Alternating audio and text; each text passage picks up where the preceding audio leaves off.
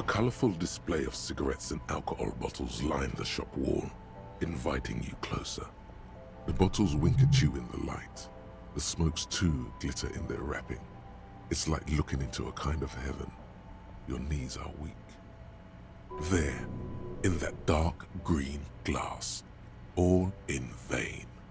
The great flowing river of warmth, wine, alcohol, beer, alcohol, love, alcohol.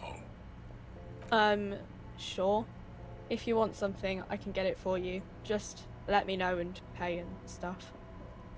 But I'm obliged to inform you that both alcohol and cigarettes damage your health. But I guess you already know that. Don't ask. Don't look. Don't do anything here. Just go away. Get back to work.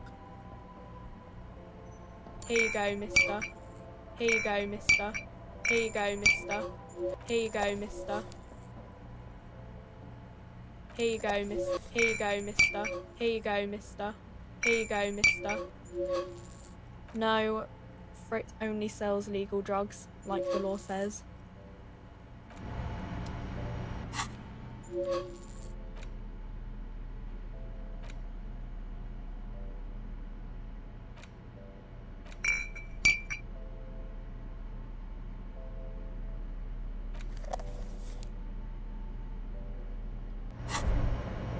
There it is, a brave little army in your pocket. The first Smokes platoon. Twenty brave souls standing in salute, ready to step into fire for you, sir. You picked the best one. This soldier is fat and succulent. What are you waiting for? Light up. Re-become yourself. Get a load of this rock and roll cop here, people. Johnny Thundercop fishes a cheap lighter out of his pants. With a flick of the thumb, there's fire. A primal satisfaction. Here we go. The lighter's dark green disposable plastic. Safety's off. In your case, the safety is always off. Hey, you can't smoke in here. Please, don't fuck with Frittte. Shut up. It's already happening. Repercussions. There's a high risk of glory with a mild chance, cool genius. Smoking makes you into an intellectual. Everybody knows that. It will help you concentrate a bit. That much is true. It only lets you concentrate because you're in nicotine withdrawal. It only mitigates its own.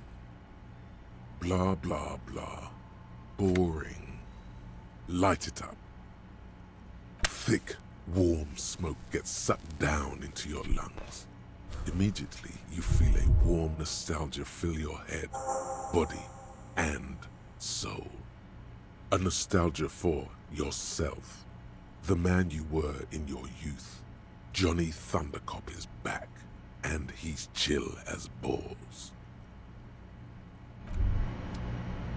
Well, hello. Someone seems to have found himself a bottle of alcohol.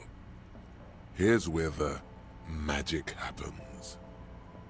Light reflects off the green glass of the Commodore Red. The gods have been generous. Better pop it open before they change their minds. Wow, the gods of mass production have made this alcohol container laughably easy to open. A child could have done it. I don't know about this. There's a satisfying pop as the cork jumps out, and the hair on your back rises like an army at attention. You've been here before. Welcome back, detective. You're home now. You see a flash of teeth, a young woman smiling at you near some railway overpass in your ruined past. She is gorgeous, and she is yours. Nothing.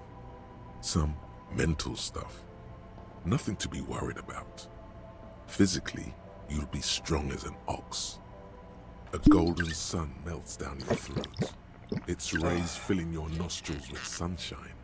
Your stomach melts from it into a happy, gooey mess. So does your mind. All the bad things are melting. You're you again. A real cop. A real detective. Incredibly well done. From the void we came, and to the void we must return.